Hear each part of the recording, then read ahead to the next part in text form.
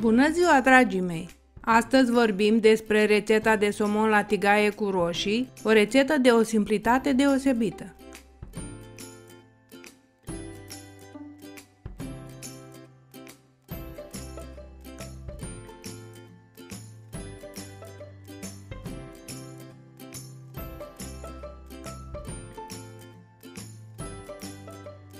Poftă mare la un somon la tigaie, delicios!